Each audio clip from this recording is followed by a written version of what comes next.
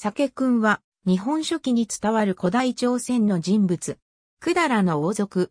酒くんの名前は日本書紀巻第11の仁徳天皇41年から43年の記事に集中して現れ、高狩りの由来を説明した説話になっている。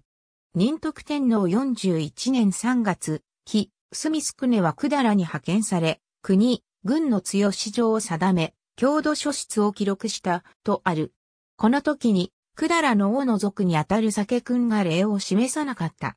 そのことで、企画が百済王を攻めると、王は鉄の鎖で酒君を縛り、桂木卒彦につけて心情させた。酒君は石川錦織首元ロココの家に逃げ隠れたという。しばらくして天皇は酒君の罪を許した。ここまでの物語を津田宗吉は大化元年7月10日上に、高栗、百済、白木が死者を使わして、蝶を立て祀った際に、百済の使いが、美馬名の蝶を代わりに収めたのだが、三輪くん東人を派遣して、三馬名の教会を視察させたこと、三馬名の蝶に不備があったので、蝶を一旦返却し、改めて詳しい国名と蝶を記すようにと命じた、という見事のりから作り出された話なのではないか、という意見を述べている。仁徳天皇43年9月、与謝見宮家のあゆはずいにしえが、珍しい鳥を捕まえて天皇に献上した際に、天皇は、これは何という鳥だと尋ねた。